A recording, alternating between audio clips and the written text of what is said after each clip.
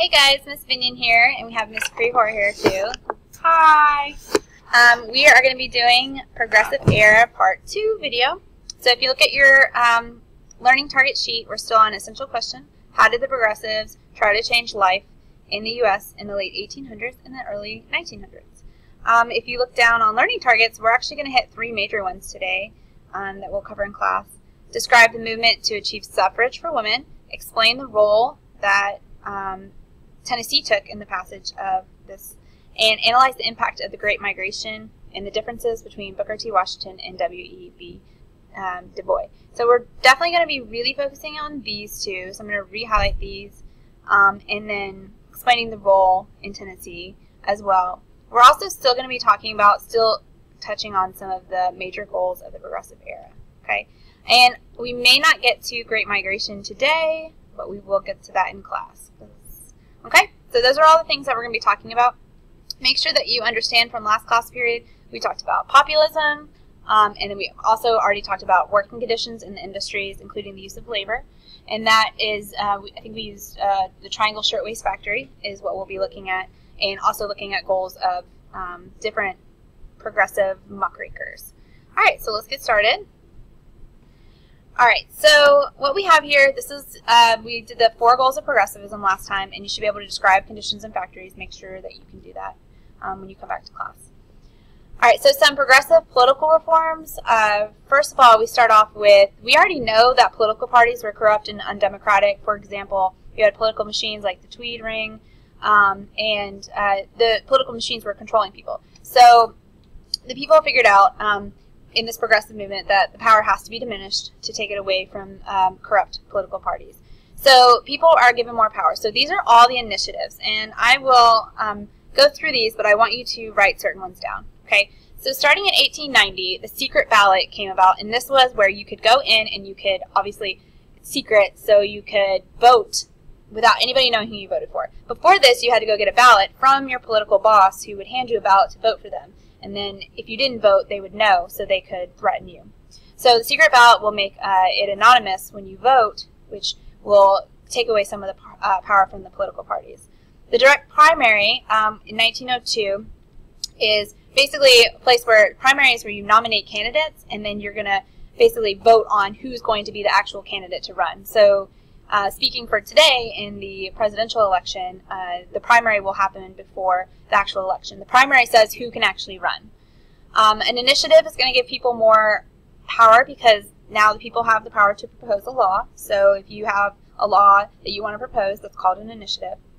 A referendum would be a law that when you go vote, it would say yes or no. Do you vote yes or no on this? So instead of letting the political parties decide yes or no, they put it back in the people's hands. A recall was a really effective one for political machines because people could um, do a recall on an election.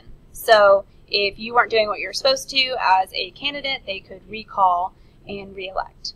Um, Amendment 17 was the direct election of senators. Before, they were just appointing senators, and now you're able to um, actually elect who you want to represent you in Washington. So this will put the power back in the people's hands as well. And then we all know Miss Vignon's favorite one, women's suffrage, 19th Amendment. Um, and I think we've talked about that 857.3 times, but we all know women's suffrage is um, the very end of the progressive movement. It's 1920. So it's the very, like I said, it's one of the last things that happens in the progressive movement.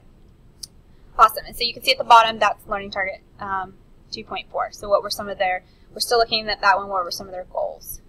Some other goals in the progressive movement, the temperance movement, uh, basically is about alcohol and um, abstaining from alcohol. So people thought society's problems were all based on alcohol, and so you have uh, programs like the WCTU, which is the Women's Christian Temperance Union, the Anti-Saloon League. Those people are all against um, alcohol. So in 1919, at the very end of the progressive movement, the 18th Amendment is passed that enforces prohibition.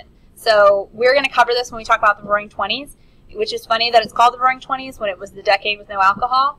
Um, I guess it's because everybody was partying underneath ground. But the 18th Amendment um, is a progressive movement to end the sale of alcohol so that society will make better decisions. Um, other things that they tried to regulate were um, to make it illegal to bring women into the U.S. or across state lines. And this is the first passing of any laws against prostitution. Um, and also programs came up um, like the YMCA. This is the beginning of the social gospel movement where social people say it's um, the responsibility, um, it's everybody's responsibility for the well-being of others. Okay, so you're your brother's keeper, so we should help those who need help. All right, some other ones. Um, we have the route. They started regulating railroads. The Food and Drug Administration, which we're going to actually get to more in the next video, um, had sanitary uh, sanitary codes, and you could not mislabel your meat. So this is, like I said, if you think of the prog progressive era, these are all example examples of progress that is occurring in the United States. Um, this is one of your vocab words, Robert M. La Follette. He is from Wisconsin, and he is very progressive. He's the first progressive governor. Um, he's a senator and a U.S. representative, and he uh, basically takes Wisconsin and kind of makes the example out of them to be a progressive state.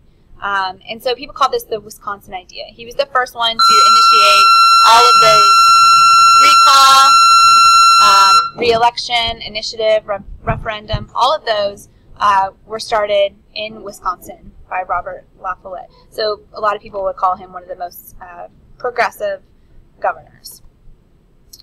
Also a time when they're trying to clean up the cities so that the political machines aren't taking control over them. And so um, they're going to lower utility rates. Utilities are your water, electricity. Not really, not a lot of people had electricity uh, back then. But um, taking politics out of the process and also coming up with departments like Department of Education and you know Department of you know security or food, um, and that would help that would help organize things. Okay.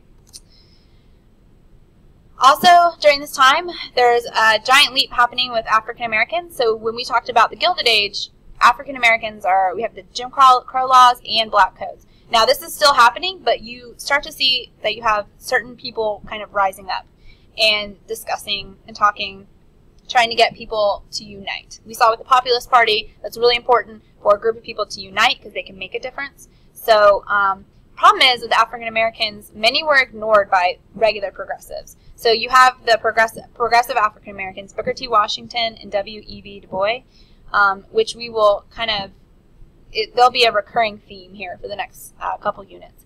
But Booker T. Washington says to um, take a lower status temporarily and just get as much education as possible.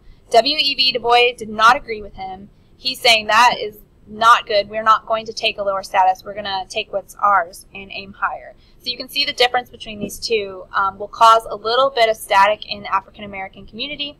And we're going to be looking at some primary sources that discuss that. So just make sure you know the difference between Booker T. Washington and W.E.B. Du Bois.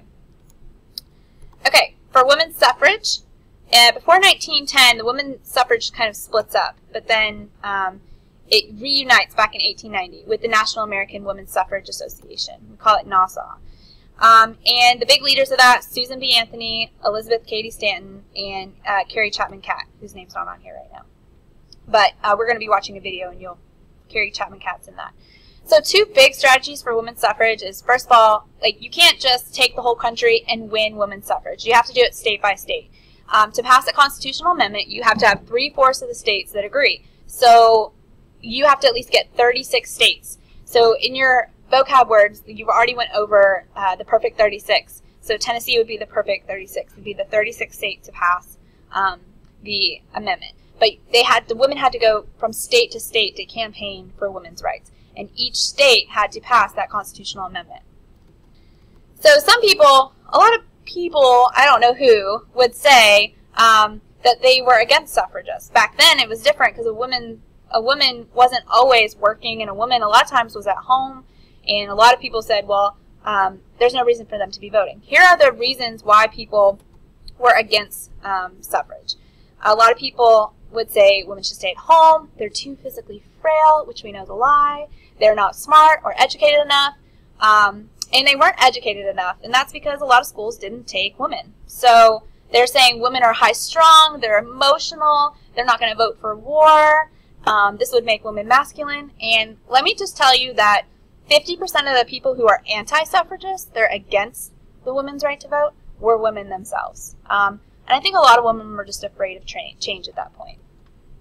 So in 1920, finally, the 19th Amendment was passed, and it said the right of citizens of the United States to vote shall not be denied or abridged by the United States or by any state on account of sex. Congress shall have power to enforce this article by appropriate legislation.